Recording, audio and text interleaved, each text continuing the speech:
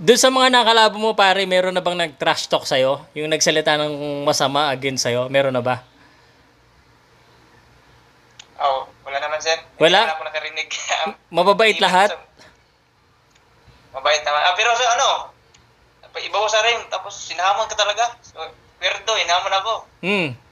Si, ano, si, yung last kalaban ko. Oh, si Philip Luis Cuerdo, okay. Oh, A- ano sinabi sa'yo pare? ganun.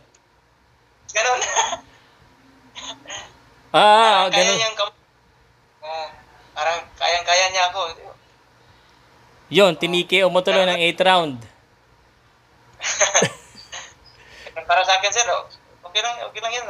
Part din yan sa ano, baksik. Kasi dapat kung baksik ka, palaban ka talaga. Hindi ka napapakita na ano, motibo na ano, hindi ka matapang. Dapat matapang ka talaga sa bawang sa ring.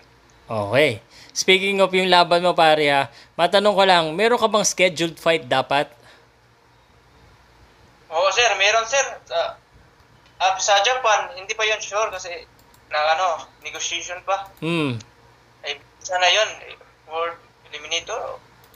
Ah, Yung sabi na hindi pa sure, pero tapos sa amin doon sa bukid noon, ako main event doon. K- kailan dapat ito? Kailan dapat? April, mga April. April dapat. April, sir. So ngayon, wala pang ano, wala pang schedule kung kailan. Wala sir, cancel lahat. Okay. Itong yung laban mo sa buk- bukid noon, ah, ang magpo-promote ala. hindi sir, Marban, Marban promotion ba yun? Marban Promotion. Simula, no 2014 ka, yung nagsimula ka mag-pro, um, sa ala ka na ba nagsimula? Hindi sir, sa ano sir, Camiguin Island. Ah, so iba yung promoter mo dati, manager.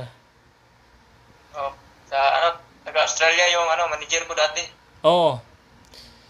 Ah, tapos, ano, na, naka, ano, may, may gulo doon. Nasali ako. Oh. Ah, yung kaibigan ko na si Joey Tu- Tunis, ah, Tunis, Hmm. nakalaban doon sa ano, diskuhan, pero hindi hindi kami nag-disco. okay. Bigla lang ano, sumulpot doon tapos naselos, nagselos sa kanyang ano, girlfriend doon. Ay, chismis ka pa sa akin ha. Pupunta kayo ng disco, hindi kayo nag-disco. Anong ginawa niyo doon? Sinamahan, sinamahan ko lang siya, siya sir kasi samahan mo ako kasi may pupuntahan ako doon. Ah. Hmm. Nakasali ako pero hindi ako ano nagsumuntok kasi professional na ako. Baka ma-preso ako nun. Ah. Powercast Sports. If you're new here, don't forget to subscribe and hit the notification bell.